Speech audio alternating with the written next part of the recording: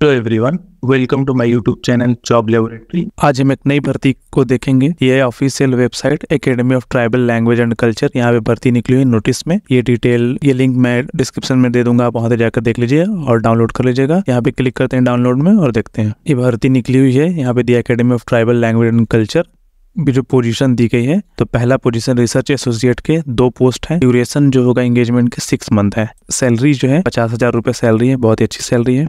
Second post देखें तो research investigator का दो पोस्ट है, ट्वेल्व मंथ के होंगे और पैंतीस हज़ार सैलरी इसमें भी है। थर्ड पोस्ट है, डाटा एंट्री ऑपरेटर का वन पोस्ट है, और यहाँ पे ये भी बारह महीने की है, एक साल की है, और पंद्रह हज़ार रुपए इसकी भी सैलरी है। अगर हम लोग इलिजिबिलिटी क्राइटेरिया देखें, जो नीचे दिया हुआ है तो रिसर्च एसोसिएट के लिए एजुकेशनल क्वालिफिकेशन की मांग जो की गई है, master in anthropology, tribal studies, social work sociology linguistic literature होना चाहिए, और अगर पीएचडी है तो इनको प्रेफरेंस दिया जाएगा। वर्क एक्सपीरियंस की बात कर ले strong skill in research documentation report सारी चीज़ें दी गई है डाटा कलेक्शन आना चाहिए ट्राइबल कम्युनिटीज में वर्क होना चाहिए, ये सारी दी है। अगर एज लिमिट की बात करें तो ट्वेंटी ईयर जो है मिनिमम है और फोर्टी ईयर जो है मैक्सिमम एज लिमिट रखी गई है। यहाँ पे आप रोल एंड रिस्पॉन्सिबिलिटी को एक बार अच्छे से पढ़ लीजिएगा। दूसरा, अगर हम लोग देखें रिसर्च इन्वेस्टिगेटर का एजुकेशनल क्वालिफिकेशन जो है master in anthropology tribal studies social work sociology and other relevant stream से वर्क एक्सपीरियंस जो है ट्राइबल कम्युनिटीज में वर्क एक्सपीरियंस हो आपको strong skill in data collection हो। और फिर एज की जो बात की गई है ट्वेंटी ईयर मिनिमम है और फोर्टी ईयर जो है मैक्सिमम है। बाकी यहाँ पे रिस्पॉन्सिबिलिटी दी गई है कि क्या रोल होगा और क्या रिस्पॉन्सिबिलिटी होगी आपकी वर्क की। यहाँ पे जो है बताया गया है। थर्ड अगर हम लोग देखें डाटा एंट्री ऑपरेटर का पोस्ट है। किसी भी स्ट्रीम से आपका बैचलर होना चाहिए। वर्क एक्सपीरियंस की बात करें एम ऑफ़िस जो है वर्ड एक्सेल पीपीटी फोटोशॉप ये सब आपको वर्क आना चाहिए। टाइपिंग स्किल आपकी अच्छी होनी चाहिए। इंग्लिश में हिंदी में और उड़िया में। और कैंडिडेट जो है forty word per minute typing इसकी स्पीड होनी चाहिए।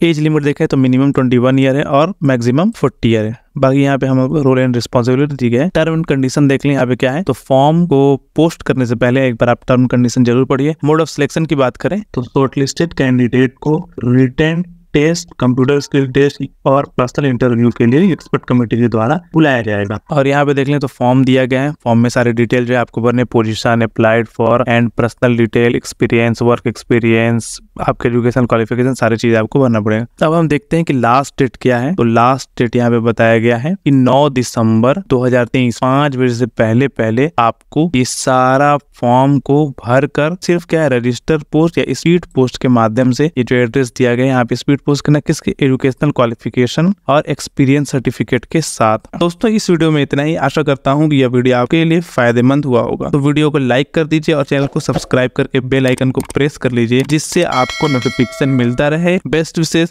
thank you so much